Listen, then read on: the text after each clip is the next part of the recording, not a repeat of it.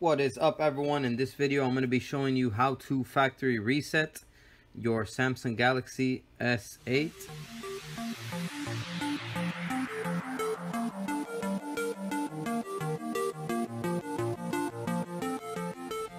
Alright, so I'm going to be showing you both methods of the factory reset. First, I'm going to be showing you how to do it through the settings. And the second, I'm going to be showing you how to do it if you have a password and you can't get into the phone. Or if the phone is not booting up correctly. Uh, by doing the hard reset, you'll also be able to start using the phone normally again. Alright, so first off, I'm going to show you how to do it through the settings very quickly. Alright, so we're going to go ahead and find these settings. Let's, let's scroll up. Here are the settings. Okay, so once once you're in the settings, once you're in the settings, you're going to scroll down to where it says uh, General Management. You're going to select that. Then you're going to see an option down here that says uh, Reset. You're going to select the Reset option. And then once you're here, you're going to select Factory Data Reset. You're to select that. You're going to scroll down. Okay, you're going to confirm and hit Reset.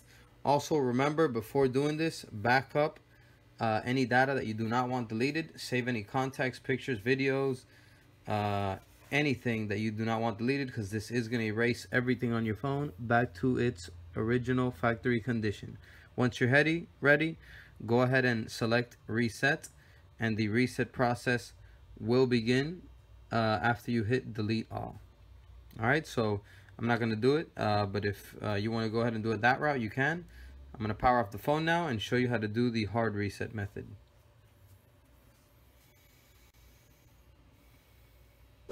Alright, so once your phone is completely off, what you're going to do is you're going to hold the volume up button, this new Bixby button that's right here, and the power button. You're going to hold all three of them at the same time until an Android appears.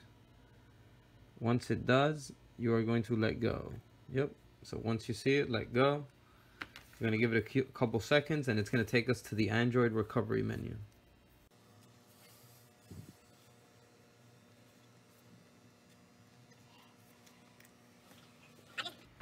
All right, so then it's gonna bring us to this screen right here. We're gonna give it a couple seconds.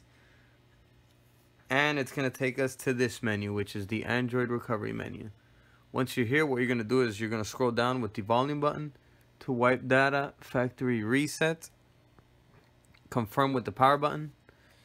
And then here it's gonna ask us to confirm. Uh, it's giving us a warning, wipe all user data. You're gonna scroll down again with the volume button and select yes with the power button. So we're gonna, now it's doing the reset. We're gonna wait till it says data wipe complete down here. Once it does, that means the reset was done.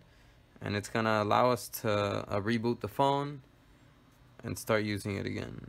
There you go, data wipe complete. So now we're gonna select the power button to reboot the phone. Give it a couple seconds and the phone will reboot. And you'll see that it has been wiped out completely, back to its uh, factory condition.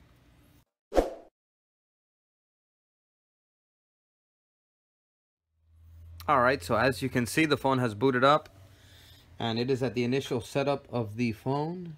Uh, Alright, so that's how you factory reset uh, your Samsung Galaxy S8. I hope this video was helpful to you. If it was, please give it a like and subscribe for more videos like this. Until next time, guys. Peace.